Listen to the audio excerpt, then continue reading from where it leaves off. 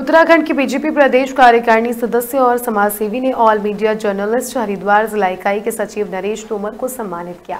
उन्होंने कहा कि नरेश तोमर का सम्मान करना स्वाभाविक है। जिस तरह छत्तीस घंटे पूर्व से ज्वालापुर कोतवाली क्षेत्र से अंतर्गत कचर मोहल्ले से एक आठ महीने के बच्चे का अपहरण हुआ था, वहीं पत्रकार नरेश तोमर के सूत्र और उनकी सूझबूझ से बच्चे को बरामद करने वाले गिरोह का पर्दाफाश किया गया।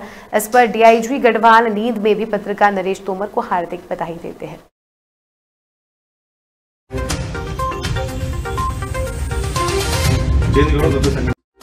ज्वालापुर से उठा लिया गया था।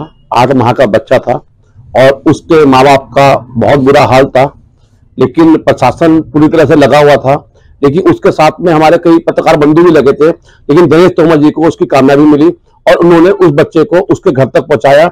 इसके लिए मैं नरेश तोमर जी को बहुत बहुत हृदय से धन्यवाद देना चाहता हूँ। भाई को हम लोगों ने आज यहाँ सम्मानित किया और कोशिश करेंगे कि आगे अपने प्रधान सेवक हमारे मुख्यमंत्री जी, धामी जी तक ये बात पहुंचाएँगे हम लोग।